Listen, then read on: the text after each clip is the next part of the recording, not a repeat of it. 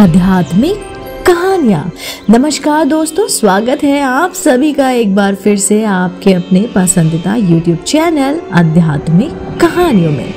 दोस्तों, अभी तक आपने सुना किस तरीके से राम जी का सीता से भेंट होता है और वो किस तरीके से राम जी के द्वारा दी गई मुद्रिका को सीता जी को सौंपते हैं और उनका धैर्य बंधाते हैं। दोस्तों, आगे की कहानी शुरू करते हैं, जिसका शीर्षक है हनुमान का विशाल रूप।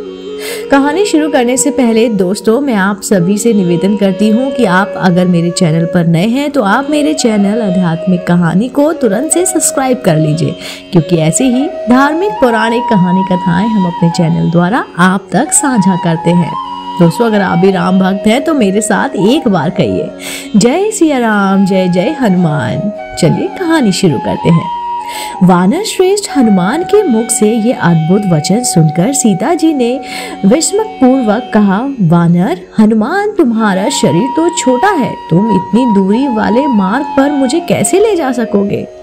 तुम्हारे इस दुस्साहस को मैं वानर रोचित चपलता ही समझती हूँ। सीता का अपने प्रति अविश्वास हनुमान को अपना तिरस्कार सा लगा। फिर उन्होंने सोचा कि मेरी शक्ति और सामर्थ्य से अपरिचित होने के कारण ही ये ऐसा कह रही हैं। अंत, उन्हें यह दिखा देना ही उचित होगा कि मैं अपनी इच्छा अनुरूप रूप धारण कर सकता हूँ।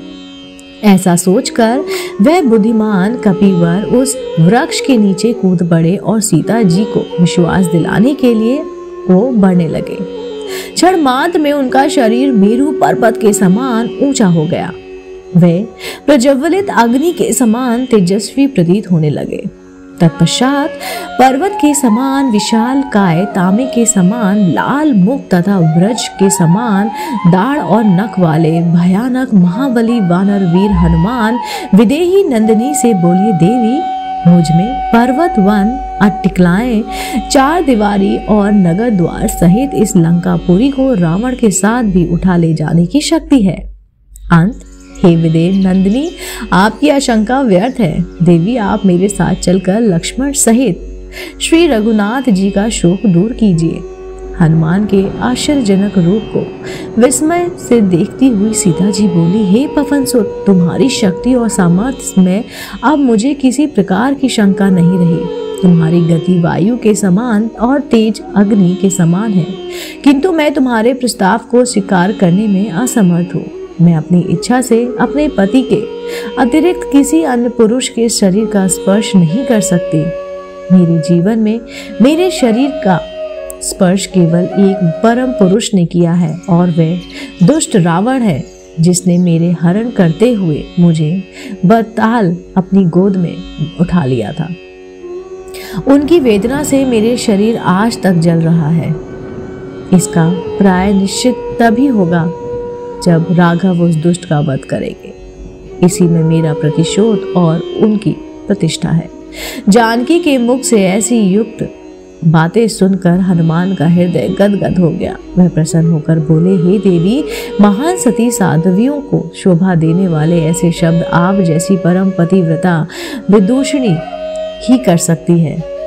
आपकी दशा का वर्णन मैं श्री राम जी से विस्तार पूर्वक करूँगा और उन्हें शीघ्र ही लंकापुरी पर आक्रमण करने के लिए प्रेरित करूँगा।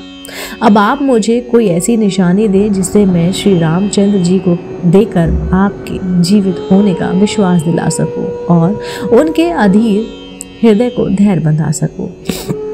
हनुमान के कहने पर सीता जी ने आपका यानी कि अपना चूड़ामणि खोल कर उन्हें देते हुए कहा, यह चूड़ामणि तुम उन्हें दे देना। इसे देखते ही उन्हें मेरे साथ साथ मेरे माता जी और अयोध्यापति महाराज दशरथ का भी श्रमण हो जाएगा। वे ऐसे भली भांति पहचान जाएँगे। उन्हें मेरा कुशल समाचार देकर लक्ष्मण और वानाराज सुग्रीव को भी मेरी ओर से शुभकामनाएँ व्यक्त करना।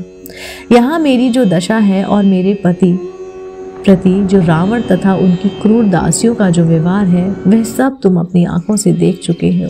तुम समस्त विवरण रघुनाथ जी को कह देना, लक्ष्मण से कहना, मैंने तुम्हारे ऊपर अविश्वास करके जो तुम्हें अपने ज्येष्ठ भाता के पीछे कटु वचन कहकर भेजा था, उसका मुझे बहुत पछतावा है और आज मैं उसी मूर्खता का परिणाम भुगत रही हूँ। पवन सुत, और अधिक मैं क्या कहूँ?